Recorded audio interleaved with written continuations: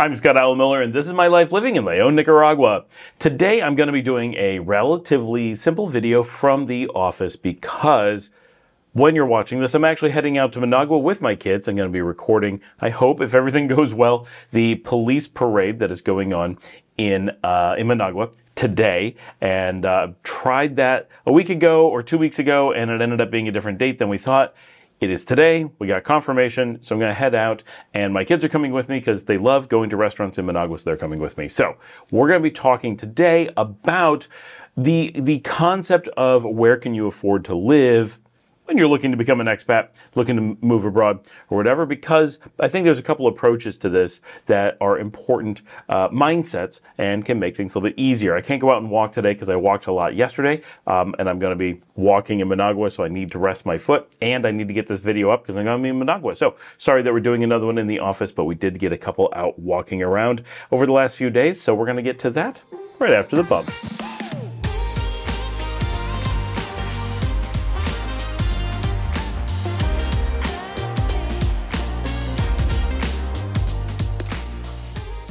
So the question comes up on a pretty regular basis. Different people ask me this. This is nothing specific, but I do get this on a regular basis. And the question is, can I afford to live in Nicaragua? And then sometimes people have a very specific budget. Sometimes they um, are, are, being very vague and I don't have much to work with. But importantly, I, everyone has a different number that they need for what it takes for them to live. This is an important concept because one person asks, Can I live someplace? And, and they mean, Why well, I have this certain level of opulence. I'm not saying it's crazy, just they have a certain level of it and they expect to be able to go to restaurants and they want people to drive them around or they want to own a car.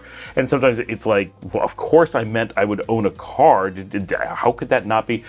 But for a lot of people, the idea that you would own a car on a tight budget is not really there. They would automatically think that they wouldn't do that. So the idea of what it takes for someone to survive can vary pretty wildly uh, depending on their perspective of, of what it is that they're looking for. Now, technically, and they, what does it take to keep shelter and food and all that, right? And you're and you're not planning on being homeless. What does the absolute minimum you be able to may be able to come up with? But even that, we're like, okay, in what area, with what, like how many people can you cook, or do you eat meat? Like a lot of things add up. It's very very difficult to come up with a number like that. So, um, and we've talked about this in some other videos, uh, but this is very specific. What I want to talk about is the idea of the lowest cost or, or relative cost uh, for living. And so when this question comes up, and then that always surprises me.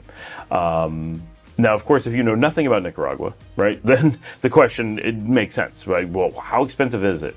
Um, but very importantly, everybody has a different cost of living experience. This is not something that my cost of living will not directly apply to you. I can tell you as, as, as, a basic ratio what my life costs here versus my life back in the United States or in other countries that I've lived in. That I can do. No problem. It'll be super accurate. But not super useful to you. I mean, it's kind of useful. You get a comparison. But every country that you live in, every place that you live, every living situation you have is going to have different factors. So when I lived in Greece, for example, I lived in a really expensive house. It happened to be a house designed by a famous architect. It was built in the Ottoman era. It was in the middle of a cool village on an amazing island. And you put everything together and it was like, well, this was a really expensive space. And then the grocery store that was near us, which would have kept the price pretty low to live there was closed because of when we lived there. And so just all these things ended up making it relatively expensive for the area. Uh, but that's fine. Like we weren't there to be the absolute lowest price. We were there because we wanted to experience that village and that house and it was worth it. It was fantastic. But if you were comparing how cheaply can you live in Greece, well, living on an island is not one of the ways to keep the price down. Living in a really amazing house that's like an antique but redone and very modern and incredibly well uh, pointed, no, that's not a way to do it. Um, you know, living in an area that's so remote that you always have to drive everywhere, not a good way to go. A lot of these things, they just add up, but depending on what you're looking at, everyone's experience is different. If we'd lived in mainland Greece, if we'd gotten a small apartment, we could have cut our costs in half or in a quarter, right? Completely different, uh, completely different experience could have been had if that's what we were trying to do. And living here in Nicaragua is no different. If you want to get a small apartment that's just barely big enough for one person and never use air conditioning and maybe never use a fan, live in Matagalpa, Jinotega, uh, do all your own cooking, never go out, don't own a car, don't need to like really, really work to be minimal, you can get this incredibly low price.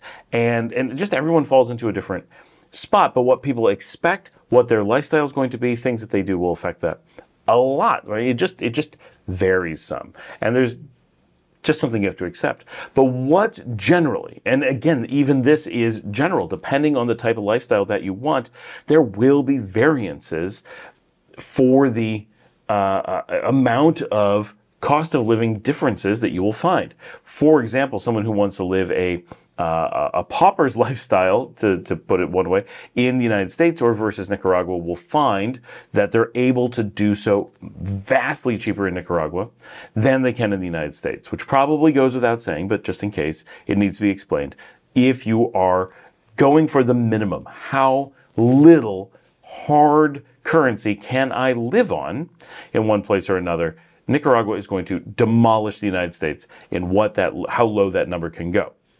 But if we're talking about what does it take to maintain the average lifestyle of a millionaire in the United States or Nicaragua, you're going to find that I'm sure the Nicaragua number will still be lower, but it's going to be much closer to that, that of the United States, simply because when you have discretionary spending, you're going to be buying a lot more things from like Amazon, for example, and you're going to be able to leverage some of the things that the United States does relatively well and inexpensively, like buying new laptops or buying new just electronics of all kinds of, of things. The US tends to get those cheaper. If you're on a tight budget, you don't tend to buy those things. You buy very little of them. But if you're not on a tight budget, you tend to buy a lot of them. And so that's going to shift things quite dramatically. So for, but for people who are on a budget, assuming this question really only matters for people who are truly on a budget, on a tight budget, um, when you're looking at can I can I make it? Can I afford to live in Nicaragua or someplace? The thing that's that surprises me the most, I think, is is wherever you're coming from. Most of my audience, U.S. or Canada, if you are existing there at all, if you manage to live in that place, and you're saying I'm taking the budget I have here and and then moving somewhere else, almost anywhere you move is going to be less expensive. You're, if you could live those places, then you can almost certainly live somewhere else, almost anywhere else. And Nicaragua is an extreme case of where anywhere else could be. Of all the places in the Western Hemisphere, while you can make an argument that other places are just as cheap as Nicaragua, it is extremely difficult to make a, a case for someone being cheaper. Yes, Colombia might squeak over the line. Uh, Paraguay gives it a good run for its money. Guatemala is very much in line. But in general, they're all roughly the same. Very difficult to measure between them. And in many ways, you can't measure between them because the kinds of things where you start getting differences as well. Milk's a little bit more here, eggs are a little bit more over here, and those differences, well, it's going to depend how much milk or eggs you buy. I buy very little milk a large number of eggs compared to most people. And so for us, whoever has the cheaper eggs is going to be more cost effective for us. But for a lot of people, they may go through a lot more milk than they do eggs. And for them, whoever has the cheaper milk is going to be cheaper. Does that make sense? Hopefully. The, the point though is that whether it's a Nicaragua or a Paraguay or a in Argentina, a Guatemala. There's so many countries that fall into a, a nearly identical cost perspective, uh, in on average at least these are so inexpensive compared to any reasonable any reasonable place that you could be coming from that if you're able to make it there, you're going to be able to do just fine in these places. And if you're coming from like the United States, which most people who ask this question are, easily 90%, you have so many things that make this so good, right? One is just the, the raw cost of living, housing, so much less. I mean, so much less.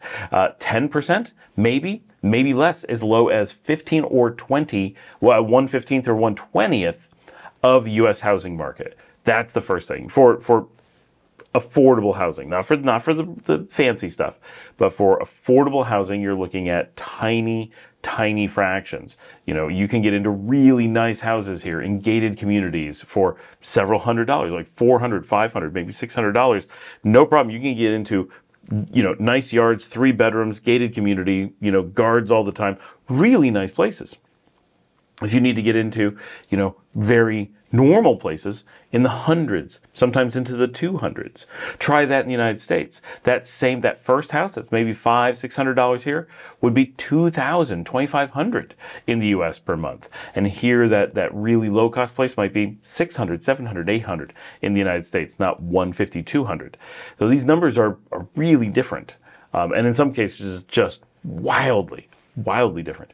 And then there's, there's lifestyle things Right here, you can take public transportation. You don't need a car. Now, of course, there are times in the United States where you can use public transportation, but it's very difficult. Very few people are going to be able to pull that off for a lot of things that they do. And if they do, the public transportation costs more. It's more cumbersome to use. Typically, here, it's going to cost even less. So you're just going to have all these, this snowball of cost savings. And then your food is going to be cheaper, especially if you're cooking at home and you're going to the market and you're getting really low cost uh, fruits and veg you're going to lower that cost again. But if you're an American, like I was saying, that the average person is the 90 percentile, is you get this, assuming you actually move to Nicaragua, you get this huge tax benefit that if you're, again, if you're on a budget, and you're coming here from the US and those factors come together, that means your salary is not going to be above a certain number, right? You, like you just wouldn't be on that tight budget if you had that big salary. So any income, salary income that you may have coming to Nicaragua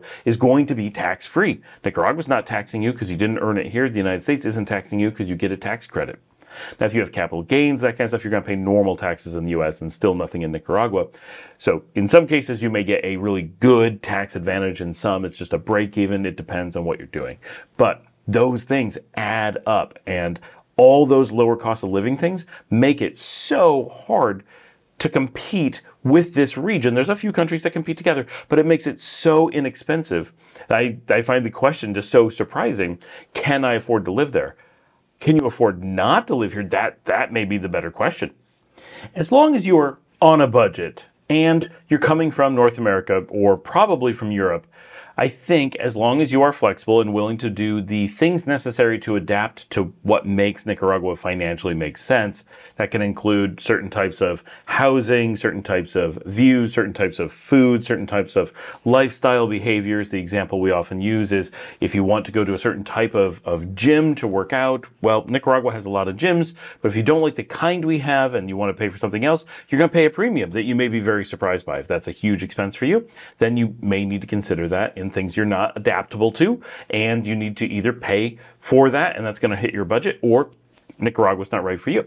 Right. So uh, if you are inflexible, and you have to have things in a certain style, not of quality, but a style, an approach. You you really aren't going to be okay getting away from, and this is often going to be based on where you're from. But if you're from New York, you know, the pizza and subs and hamburgers and hot dogs and, and garbage plates and fish fries, the food of New York, if, if those are things that you're not going to be okay not being able to have in the style and quantity that you're used to, um, and those are things I miss from back home, right? If those are things you, you are going to have to replicate, then someplace like Nicaragua is going to be quite expensive. Replicating most of those things here cost quite a bit more than it does to just eat normally. But if you were to eat normally in Nicaragua, you'd find that the food would cost less than a lot of the things you would do in the United States. So it's very important to understand that that flexibility, and this is true anywhere in the world, it's not unique to Nicaragua. Any place you go, if you want to get that low price, you want to be able to take advantage of the place you're living in, you have to adapt to it. Same if you were to go to the United States and say, well, I want to eat Nicaraguan food all the time. That would be very expensive in the United States. Even though the food is very inexpensive in Nicaragua, that same food, that rice and beans, gallo pinto, or other things that they do here in Nicaragua, that they do on scale with local ingredients, just naturally you know, everyone does it. So it's super cheap here in the United States. Those things are not going to be outrageous in most cases, but they will not be cheap like they are here because it's specialty. Sometimes they have to import it. Sometimes they're making it just for you, whatever. So that adaptation is always something that you need to have if you're trying to be on one of those budgets. So flexibility comes into play a lot. And so if you're looking at, for example, the three places that I always use as the low cost places around the world, here in Latin America, especially Central America, one of the lowest costs. Southeast Asia, one of the lowest cost. Eastern Africa, this is the Malawis, the Tanzanias, the Ugandas, that area, super low cost. You take these areas and compare them, and all of them are very inexpensive. None of them have big costs when you live like a local. Of these, Latin America is probably the most expensive in most cases, if you don't consider the flights to get there. But depending on your lifestyle, the things that you may demand, the things that you may not be comfortable with changing, any one of them may be better for you. If you really like the food of Southeast Asia and you're okay eating that every day, but you don't like the food of Latin America, you wouldn't be fine eating that every day. And one, you're able to just adapt to what's local and cheap, and another, you have to sometimes cater to your personal taste and that's going to be more expensive, then you may find that Southeast Asia is just a way better option for you. And of course, if the reverse is true, then that may make Central America a lot better for you from a cost perspective. There's other factors, of course, and there's you know other th- for cost as well as things that you like or don't like. So you have to consider a lot of things. But when you're looking at those low cost regions, those kinds of comparisons, what your lifestyle, what your desires are going to cause you to either do like a local or not do like a local, like a local will be major cost factors when you're on a tight budget. So, so the takeaway there is tight budgets are primarily dictated or, or defined by what adaptations are able to be made or desired to be made for that comparison. If you're able to just be like, I'm going to live like a local wherever I go, then it's going to come down to mostly whatever place is closer for you is probably going to be the more cost effective, even though Africa and Asia offer, often are going to beat the Americas in cost of living in raw numbers if you're coming from Europe or North America, generally to get there is just a lot more cumbersome and expensive. And once you add in the cost of those flights, they don't compete nearly as well. But if you were just teleported there for free, they would generally be a little bit less expensive. But the general idea I was trying to get across in this video, and I'm pretty tired doing this one, so I apologize because I'm just doing this late at night. I gotta knock this out so you have this for when I go to Managua, so I can spend my time in Managua hanging out with my kids and focused on filming the next episode for you guys. Um, the, the big overarching idea here is that if you're coming from one of these higher cost locations, Europe, North America, and you're coming to one of the really low cost areas and you're looking at Nicaragua from a budgetary standpoint, as long as you have that flexibility, you are willing to do what it takes to adapt food, housing, lifestyle, activities, transportation, which are not those huge of things. Some people find this very difficult. Some people find it a no brainer. They would never even occur to them not to adapt, right? So there's a spectrum. But as long as you're willing to adapt, then the idea of whether or not you can afford one of these places, East Africa, Southeast Asia, Central America, really, if you can afford anywhere, you can afford these places. These are the most bang for the buck for your lifestyle budget because there aren't these hidden expenses. I mean, there's always something right? Living in, in Nicaragua, there's always going to be a little bit of uh, migracion cost, right? You got to uh, renew your passport, you got to renew your visa, you got to, you know, get an extension, you got to file for residency, like those things over time. Are they big? No, not at all. When you're on a really tight budget, do they show up in your budget? They do, actually, right? But you got to be on a pretty tight budget for that to happen, but it does. And so those are things to consider. Uh, but there's no way that if you're able to live somewhere else, outside of these regions on whatever budget you have, then unless there's a mitigating factor, for example, you live for free uh, in the United States because your, your parents have a house for you and you stay there and it costs you nothing. And then you move to Nicaragua and you're like, well, it costs so much more in Nicaragua. I say, how is that possible? Well, I was living for free. You know, my food, my housing, that was all free in the United States. Here I have to pay for it okay, that's not how you consider cost of living. Yes, it's cheaper for you to be where people are paying for you, but if, you know, within reason, un, if people understand what we mean, it, nothing's going to be reasonably less expensive. So whatever budget you have, this is where it's going to get you the most from your life, where you can do the most, where you have the most protection, where you're able to buy the most, where you have the most ability to save, whatever. This is where the best is going to be. Thanks for joining me. Like and subscribe. If you'd like to help support the channel, you can buy me a coffee at buymeacoffee.com slash Scott Alan Miller or uh, you can join our members group, which helps with a uh, monthly fee, and it's all just about supporting the channel. We don't really have any specific benefits in there other than a super secret chat room uh, just for the members. Uh, if you would be so kind to like, subscribe, share the show with someone, and prepare yourself for our video from Managua tomorrow that I am recording this in order to be able to do. And uh, I'll see all of you tomorrow.